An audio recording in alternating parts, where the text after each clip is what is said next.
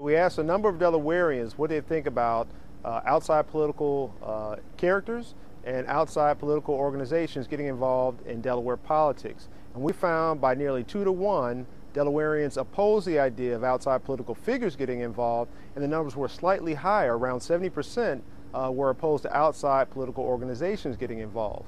Now, we did find some differences. For example, conservatives were more likely than liberals and moderates to believe that it was okay for things like outside political organizations to be involved.